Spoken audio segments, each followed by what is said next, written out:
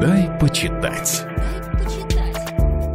Здравствуйте, я Ксения Станиславовна Лица, декан факультета филологии Вятского государственного университета. Извините за прямолинейный вопрос. Как часто вы, дорогие слушатели, думаете о костях? Не правда ли скучнейший предмет? Но, тем не менее, Брайан Свитек, археолог, антрополог, коллекционер, у него в собрании более 200 костей, автор научных книг и статей, написал книгу «Кости. Скрытая жизнь». Эта книга заставит читателя, каждого читателя, не только полюбить свои косточки, а их у нас 206, но увериться, что разговор о костях так же увлекателен, как чтение детективов или просмотр приключенческого фильма. Воспринимая человеческие кости как угрюмые символы загробной жизни, а также как напоминание о том, что никто не застрахован от преждевременного попадания туда, мы забываем, что кости лежат в основе нашей жизни самого ее зарождения, что ходить, летать, плавать, скользить, бегать, прыгать, двигать. Все это возможно благодаря костям. А еще кости, на удивление, живые. Каждый их элемент сохраняет в себе информацию о жизни, которую мы ведем. Кости являются свидетельством более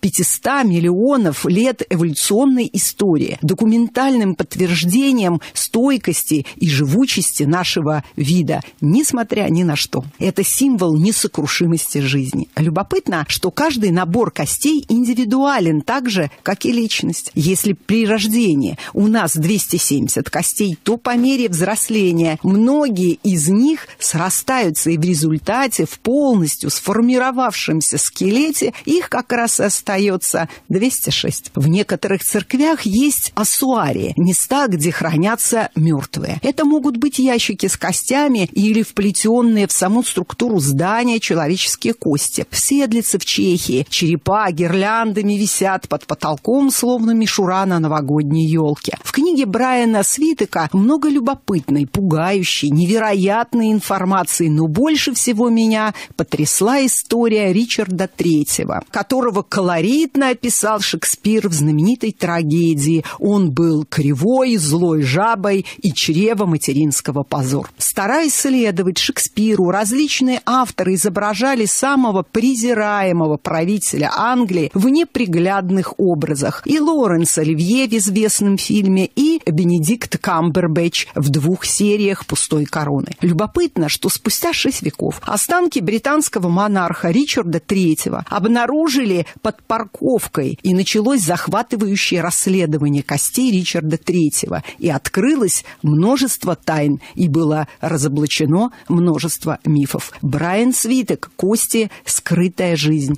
12+.» Эту и многие другие книги вы сможете найти в магазинах «Читай город» по адресам Преображенская, 65 и Ленина, 103А. До новых встреч!